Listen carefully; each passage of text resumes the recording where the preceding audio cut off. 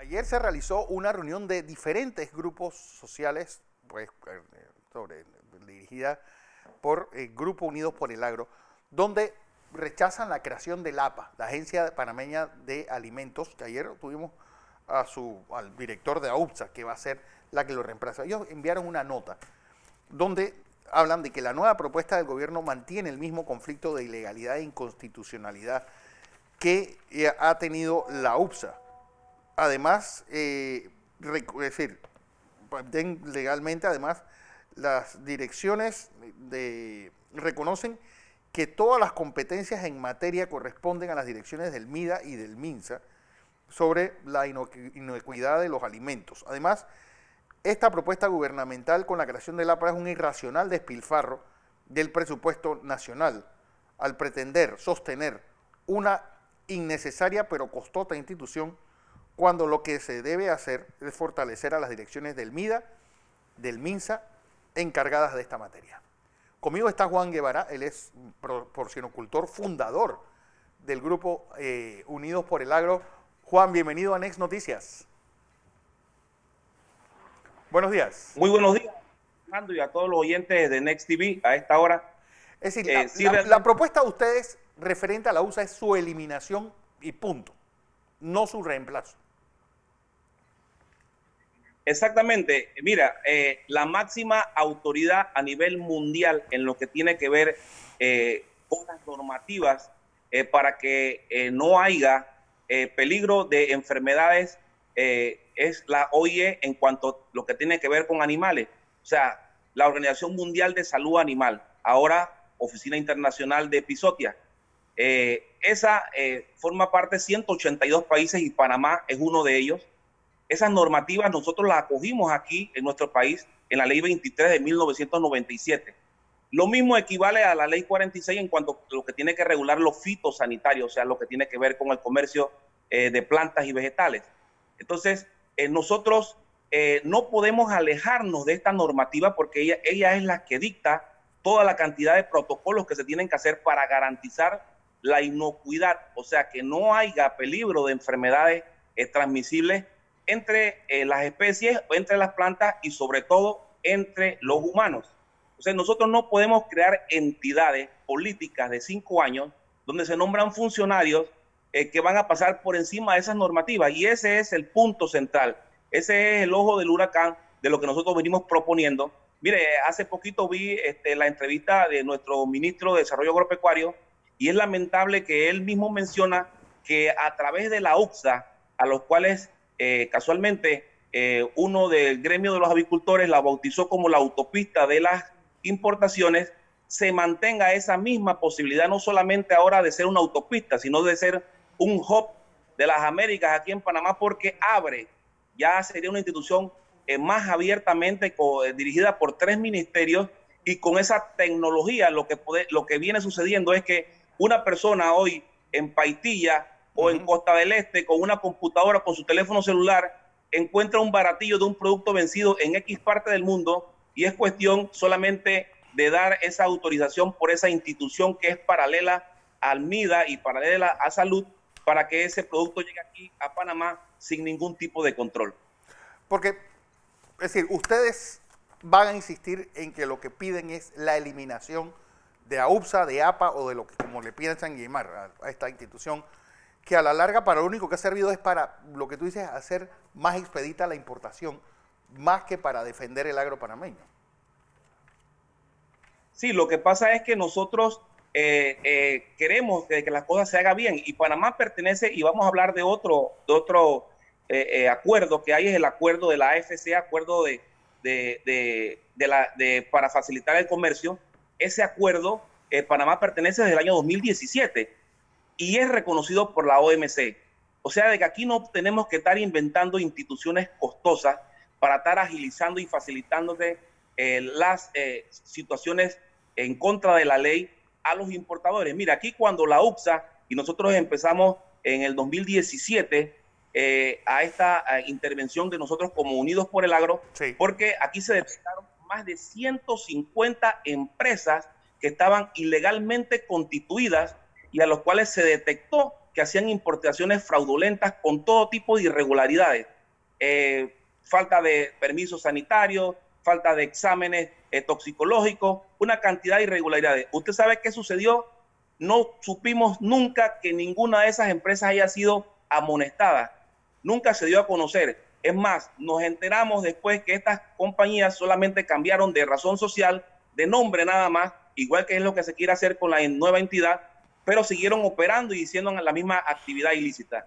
Entonces, ¿cómo puede nuestro agro panameño ser más eficiente, aumentar su competitividad, si aquí nos inundan de productos vencidos, donde tú puedes vender cierta cantidad de productos eh, durante una temporada y cuando venga otra temporada te inundan de este producto y su producción se, paraliza. No hay forma de competir. Es más, voy a utilizar la palabra que el ministro eh, Augusto Valderrama, y con mucho respeto, lo dijo eh, cuando estuvimos en, el gobierno pasado reclamando esta situación. Él decía que la pelea contra las importaciones es una pelea de tigre suelto con burro amarrado. Nosotros sabemos que el tigre no se puede amarrar. El tigre son los países poderosos que tienen esa capacidad de indunarnos porque son compañías transnacionales, multinacionales con mucho eh, capital, pero nosotros sí queremos que el burro, que somos nosotros los productores panameños, nos suelten, que no nos tengan amarrados, que podamos competir con ese tigre en igualdad de oportunidades, porque nosotros tenemos productos de calidad. Y si nosotros estimulamos la competencia eh, leal, como tiene que darse, nosotros podemos producir a, cualquier, eh, a través de la competencia, podemos tener un producto de buena calidad y de buen precio, porque es la forma más eh, certera, es la única forma que en el mercado panameño nosotros los productores podemos tener productos a muy bajo costo. Es la competencia nacional entre nosotros mismos y esta se estimula de eh, garantizándole el marco jurídico al panameño. Eso no se controla ni con control de precio ni con importaciones eh, que consiguen baratas, porque al final de cuentas estas importaciones jamás han llegado baratas al pueblo panameño. Don José, ingeniero Blandón con nosotros. Buenos días, Juan. Buenos días. Oiga, eh, a ver si podemos ponernos para que nuestra audiencia comprenda eh, con mayor precisión el objetivo de la lucha suya y del sector agropecuario. Le advierto que conozco con bastante detalle el problema, pero quisiera que usted nos ayude a explicarle a la audiencia el tema. En primer lugar, la AUXA es una institución que tiene múltiples funciones, de las cuales una cantidad de ellas fueron extraídas de funciones que ejercían otras instituciones, que tienen que ver con el control de la calidad de las eh, importaciones en términos de salud pública, eh, en términos de calidad, etc. Pero también tiene que ver con otras funciones que tienen que ver con la regulación del mercado. Cuando usted habla de eliminar la AUSA, en realidad, ¿qué, es lo que, ¿en qué consiste la propuesta de sustitución o de resolver el problema en su totalidad? Sí, mire, eh, cuando hablamos de eliminar a UXA, eh, básicamente el punto es de que se den las importaciones, pero sin saltar los protocolos. Vamos a hablar lo que inicia primero, cuando usted hace una importación. ¿Qué es lo que tiene que hacer? Un control previo. ¿Qué significa un control previo? El producto a ser importado tiene que ser examinado por autoridades competentes, profesionales idóneos del país que va a importar.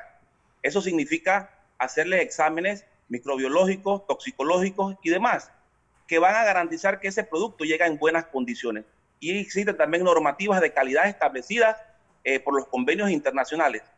Eh, cuando usted tiene una institución paralela a, lo que dictan las normas internacionales, estos protocolos son saltados, se evaden, porque es mentira que un funcionario eh, que va a ser el director o el rector o como le quieran llamar, porque ha habido tantos nombres para suplementar o suplantar estas instituciones, es mentira que ese funcionario va a pasar encima de una directiva o una junta directiva de una autoridad como esta, con tanto poder, ese funcionario queda automáticamente votado.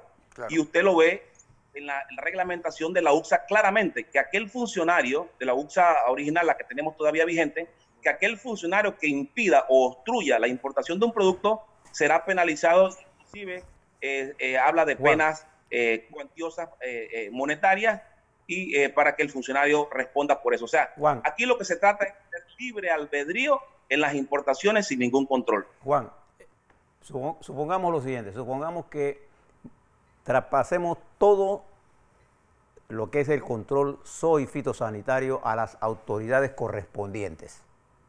Ya tenemos un, control en otro lugar. Recuerde que nosotros tenemos tratados de libre comercio que afectan el sector agropecuario. ¿Quién se encargaría si eliminamos a USA de la administración de los contingentes de importación, si eliminamos y no creamos una institución que haga esa función? Mire, esa normativa está claramente tipificada en lo que es el acuerdo para, facilitar el comercio. El acuerdo que participamos en el año 2017. Dice la, eh, la, y estas instituciones pueden ser nombradas en una parte en el MISI, eh, otras en el MIDA y otras en salud para que estos trámites se hagan eh, más fácil, más expeditos, pero sin saltarnos esos protocolos. Lo que pasa es que saltarnos esos protocolos es muy peligroso pero nosotros tenemos este, que eh, fortalecer estas instituciones, sobre todo el MISI, para lo que tenga que ver con tramitología, que se haga expedito, eso es factible, pero no podemos de ninguna manera saltarnos estos protocolos, porque el detalle es que cuando llega un producto contaminado y hay infinidad de antecedentes de productos que llegan contaminados y usted va del control previo, cuando usted ya tiene el producto, si es un microorganismo, ya usted tiene la enfermedad aquí, que ese virus ese microorganismo, sacarlo del país es muy costoso, ya no lo vas a poder sacar. Tienes que convivir con esa enfermedad. Por eso todos los países tienen ese protocolo, ¿sí? Así que lo que tenemos nosotros que para agilizar este comercio, la parte de tramitología hay que reforzarla, hay que darla, dotarla, hay que dotarla eh, de los presupuestos y del personal adecuado, pero sin evadir los controles. Eh, mire, eh, actualmente nosotros carecemos de esos controles. Aquí tenemos nosotros hace muchos años que en esos tratados que usted menciona se importa eh, carne, por ejemplo, congelada, y nosotros este, hemos denunciado muchas veces que se está descongelando carne en determinado centro comercial o en determinada compañía que es prohibido, porque esa carne dice la normativa y lo establece nuestra ley, en la ley 255 es muy clara que la carne solamente se debe descongelar para ser consumida. si usted la descongela y la expende como fresca, usted está arriesgando a la población de que esa carne haya sido eh, contaminada ya con los microorganismos que normalmente crecen desde que ese animal es sacrificado. Entonces, si nosotros agilizamos eh, estas normativas de, de, importación, si no hacer eh, todos estos exámenes, estamos exponiendo nuestra población y mire lo que ha pasado en esta pandemia eh, es muy peligroso. Pero, ¿cuál ha sido el comportamiento del, del agro en general durante esta pandemia con las importaciones reducidas? ¿Ha habido ese crecimiento? ¿Los, los productores están recibiendo precios justos? ¿Cómo ha sido el comportamiento en general del agro panameño?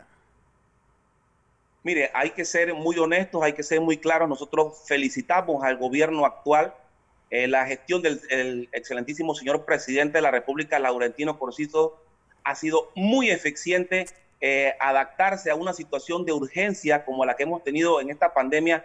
Es una eh, manejar un programa como el programa de solidaridad alimentaria ha sido, la verdad, una gran proeza, una muestra de organización que es muy digna de alabar. Se han consumido los productos nacionales. Nosotros a los porcinocultores le, damos, le hemos dado solución a la venta de sus productos nosotros como productores no nos hemos quedado atrás, no hemos parado ni un solo minuto de trabajar, hemos abastecido y es más, hemos demostrado que aquí somos eh, totalmente capaces de producir todo lo que nosotros comemos.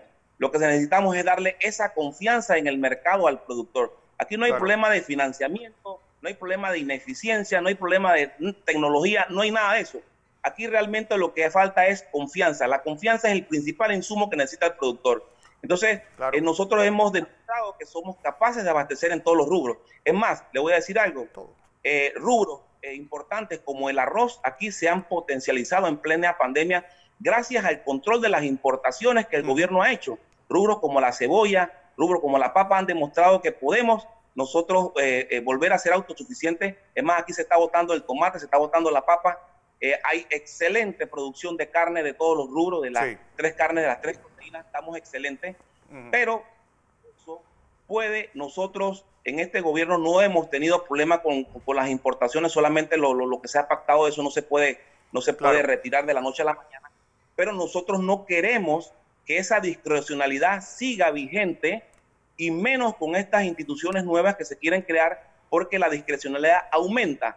En la UXA anterior quedaba eh, la libertad de la importación de Estados Unidos, ahora queda abierta a cualquier país con un simple certificado de importación. Es lo que nosotros queremos, que una vez que finalice este, este, esta administración de gobierno, quede un marco jurídico establecido que de verdad garantice eh, que se está compitiendo de forma leal. Que vengan las importaciones que tengan que venir, pero que no se haga en... Bueno, estoy hablando con Juan Guevara, que es por si Ilegalidades. Así es. José. Eh, ¿Está ahí? Está ahí, está ahí. Juan, eh, mire, yo comparto eh, en gran medida la preocupación del sector agropecuario durante las últimas décadas con respecto a lo que significó AUXA. Estoy claro en eso y no hago de eso una discusión. Sé que se requieren reformas estructurales. Pero nosotros también, como país, necesitamos exportar. En la medida en que yo ejerzo, y yo estoy de acuerdo, es que todo el control so, y fitosanitario debe estar al margen de AUSA. Pero en la medida en que nosotros eh, cerremos la puerta a las eh, exportaciones, también a las importaciones, también estamos cerrando la puerta a nuestras exportaciones.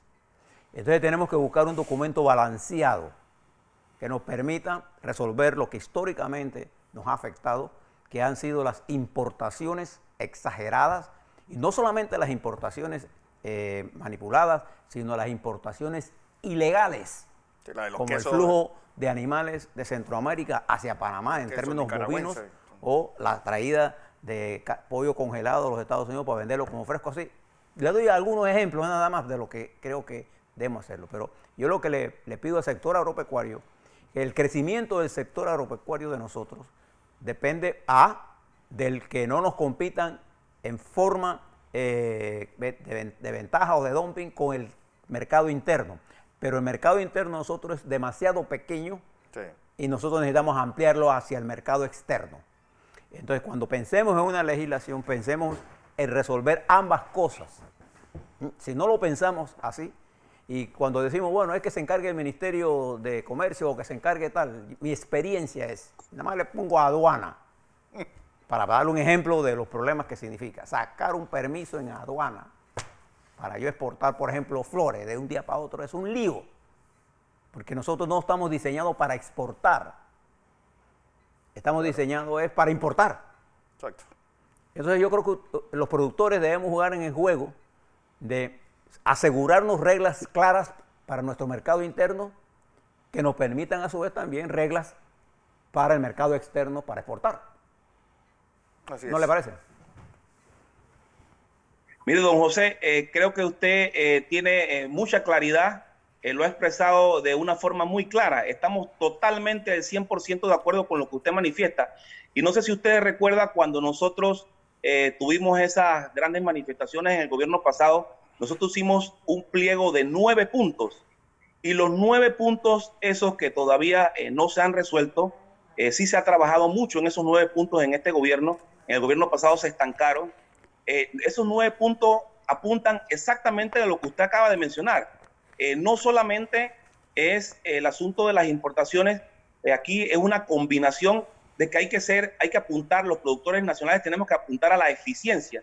Y esos nueve puntos básicamente eh, tratan de esos controles, pero aumentando la eficiencia. Nosotros eh, eh, nos creemos capaces de, ser un país exportador de los rubros agropecuarios, claro que sí, y es por eso que nosotros queremos llegar a esa negociación, porque creemos de que se pueden hacer muchas otras cosas más. Aquí tenemos productos que todavía no se han agilizado por falta, bueno, no podemos decir que en este gobierno ha habido mala voluntad. La verdad, si, si eh, sumamos y restamos el tiempo de pandemia y el tiempo que tenemos de trabajo, eh, creo que se ha hecho bastante, hemos adelantado mucho en el sector agropecuario, pero aspiramos que una vez pasen todas estas limitaciones de la pandemia, nos sentemos de verdad de una vez por todas para ver esos nueve puntos que terminaron con 28 actividades que son prioritarias para nosotros los productores. Sabemos que el gobierno tiene una agenda de una cantidad de actividades que son muy importantes, nosotros las compartimos, pero hay cosas que son muy urgentes para nosotros poder exportar. Le voy a poner solamente un ejemplo. Aquí se ha inaugurado cuatro veces un laboratorio de toxicología. ¿Cómo es posible que al sol de hoy todavía no exista eh, esa funcionalidad que nosotros aspiramos? Esa funcionalidad significa equipo, personal, eh, materia, para poder trabajar. Entonces, ¿cómo nosotros podemos aspirar a exportar si no tenemos lo más básico? No solamente eso, sino que, el retraso de la cadena de frío, el mercado de bastos de la chorrera, es decir, hay un montón de, de desgracias que le han caído al agro que tuvo realmente una plaga manejándolo en el quinquenio pasado con gente que no tenía ni idea de cómo funcionaba y así fue el resultado. Así que Juan, justa tu la queja del Grupo Unidos por el Agro y ojalá pues haya un diálogo, porque yo creo que hay buena voluntad de parte del gobierno, tú lo has demostrado con lo que ha pasado con la producción agropecuaria durante esta pandemia.